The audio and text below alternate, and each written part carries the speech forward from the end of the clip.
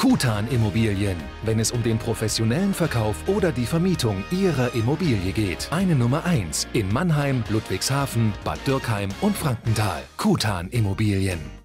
Zu einem Unfall mit zwei schwer verletzten Personen kam es am 31.03.2018 auf der L523 in Höhe der Ausfahrt Opau BRSF Tor 12 und 13. Die Unfallursache konnte noch nicht geklärt werden, weshalb die Polizei bittet um Zeugehinweise. Fest steht, zwei PKWs, ein Mercedes Coupé aus Worms und ein Toyota aus Mannheim kamen ins Schleudern und prallten an die Leitplanken.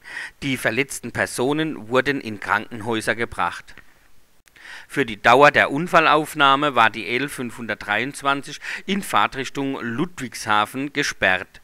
Im Einsatz waren Feuerwehr, Polizei, Rettungskräfte sowie Notarzt.